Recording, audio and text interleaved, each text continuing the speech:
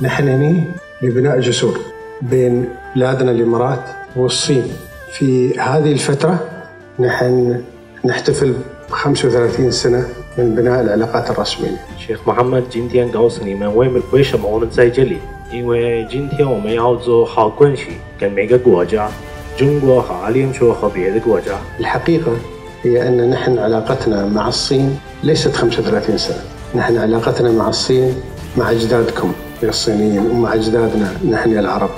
في تاريخنا نحن اللي نحن نعرفه لا يقل عن 5000 سنة.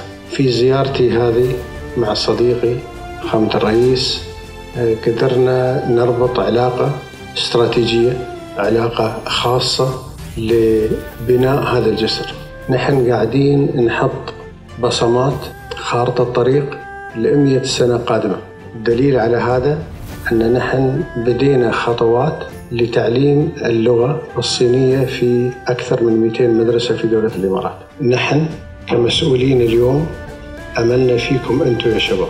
أملنا فيكم لأنكم أنتم مستقبل هذه العلاقة.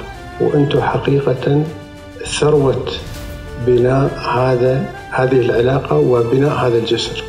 أنا سعيد جدا وجودي اليوم معكم وأشوف في كل واحد منكم وكل وحدة منكم أمل وكل واحد ووحدة منكم له مسؤولية يحققها في بناء هذا الجسر أتمنى لكم التوفيق إن شاء الله شكرا 谢谢你啊。